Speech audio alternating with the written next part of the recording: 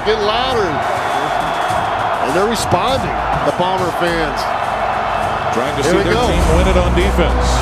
The St. Ignatius fans One play here. hoping that that one play can get them in a position to tie.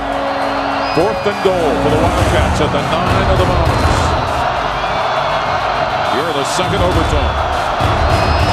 Pressure coming on Ryan. Hit while throwing incomplete. And St. Xavier becomes to win a state championship in two overtimes. St. Xavier defeats St. Ignatius 27 to 20